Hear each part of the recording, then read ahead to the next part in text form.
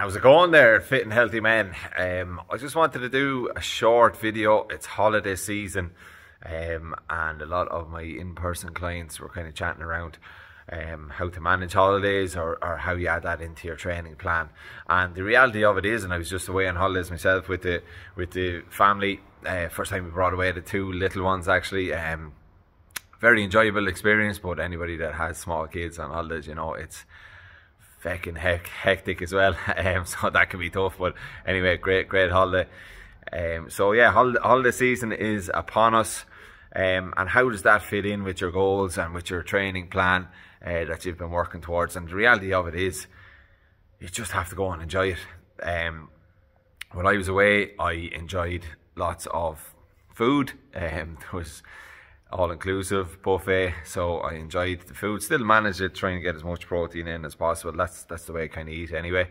Um, more meat based than anything else, and and vegetables, and then all the extra stuff as well. Like any dessert that you can kind of think of was there, and you always have that kind of temptation.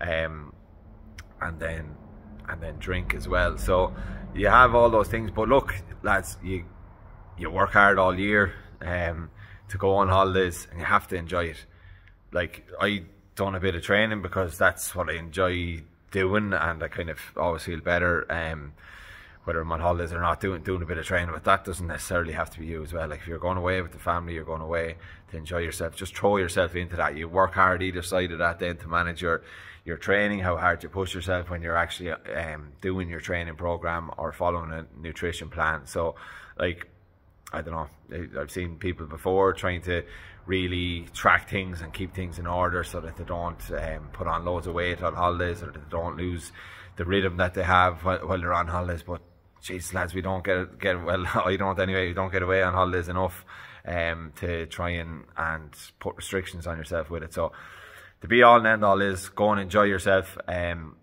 work hard either side of of the holiday manage your training, throw yourself into that, um, push yourself hard, follow a, a, a, sensible nutrition plan, and then when you're on holidays, just go and enjoy yourself. If you can get extra steps in or get a bit of training in, well and good. But if not, don't be putting pressure on yourself. Just go and enjoy it, get a little bit of sun on the back, and uh, come back refreshed and ready to go again. Because that's that's why we work hard. That's why we we we work hard uh, in our jobs to earn the money to be able to, to go on holidays, and then we work hard on our bodies and on our health um, to be able to switch off for a weekend and just fucking go and enjoy it. Life is hard enough, there's enough stress, so don't be putting stress on yourself when you're on holidays.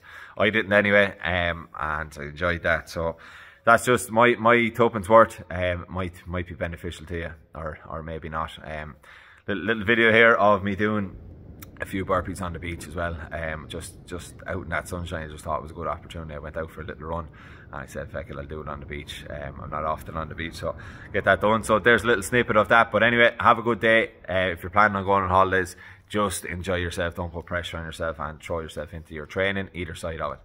Have a good one, lads.